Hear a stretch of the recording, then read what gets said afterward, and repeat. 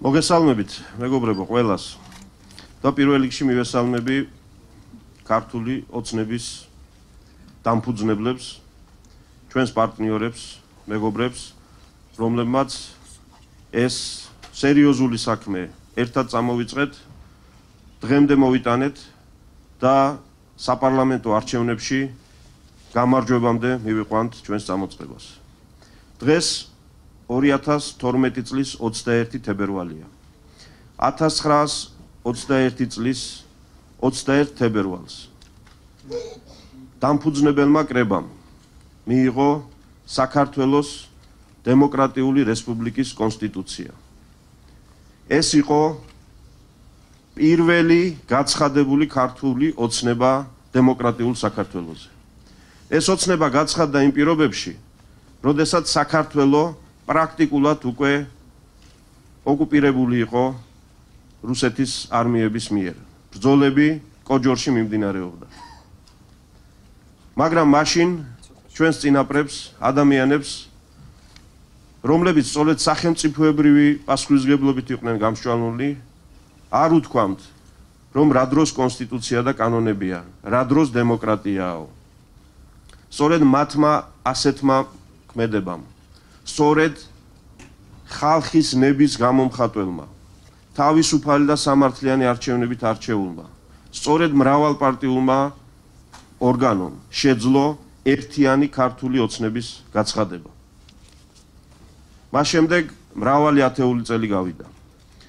ძალიან ხშირად ძალიან ბევრჯერ ჩვენს ჩვენს წინაპრებსაც ქონია განცდა რომ საქართველოს სულ უფრო და უფრო შორდებოდა ამ ოცნებას მაგრამ იყო მომენტებიც, როდესაც ყველას ჰქონდა განცდა, რომ ბოლოს და ბოლოს ეს ქართული ოცნება, დემოკრატიული, თანამედროვე, ცივილიზებული ევროპული სახელმწიფოს შექმნის ოცნება ბოლოს და ბოლოს რეალიზდებოდა. ასე იყო 90-იანი წლების დასაწყისში. ასე იყო 2003 წელსაც, როდესაც ბევრი ვთვლიდით, რომ ბოლოს და ბოლოს ამ ოცნების რეალიზება იწყებოდა.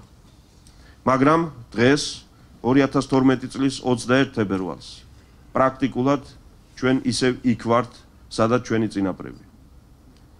ჩვენი ამ დეკლარაციით ჩვენ იმოცნებას ვეხმიანებით.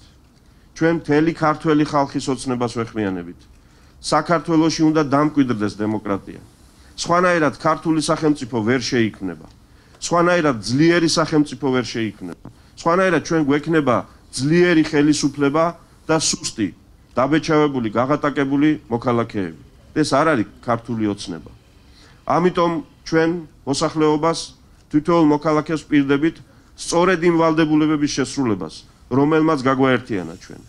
ეს არ არის ლოზუნგები, ესაა ვალდებულება, ესაა პასუხისგებლობა. საარჩევნო დემოკრატია უნდა დამკვიდრდეს ამ ქვეყანაში. საარჩევნო დემოკრატია, როდესაც უზენაესი გამსჯელი არის ქართველი ხალხი, და არა პოლიტიკოსები და არა სხვადასხვა ბერკეტებით შეერაღებული ადამიანები. ჩვენ უნდა დავამკვიდროთ ეს ტრადიცია, რომ ყოველ 2 თუ 4 წელიწადში ერთხელ ქართველმა ხალხმა უნდა გადაწყვიტოს, ვინ დარჩეს ხელისუფლებაში, ვინ წავიდეს, ვინ რა დოზით და რა ხარისხით იყოს წარმოქმნილი თვითმართველობის თუ ცენტრალური მართვის ორგანოებში. ჩვენ დავამკვიდრებთ თვითმართველობას. ამას პირდებით ქართულ ხალხს. გავათავისუფლებთ სასამართლოს პოლიტიკური წნეხისგან და დიქტატისგან. როდესაც ამაზე ვსაუბრობთ, ჩვენ ძალიან კარგად გვესმის და ვაანალიზებთ იმას, რომ პრობლემები რაც ამ თვალსაზრისით ქვეყანაშია, ეს არ არის შემთხვევითი პრობლემები. ამ ხელისუფლებამ გადაწყვიტა და მოინდომა და გააკეთა ის, რომ ქვეყანაში პარლამენტს არავინ არაფერს არ ეკითხება. ეს შეგნებულად გაკეთდა. ეს განაცხადეს მათ, რომ ეს ასე გვინდაო. სასამართლო რომ არ არის დამოუკიდებელი, ეს მათი გადაწყვეტილებაა, მათი ხედვაა.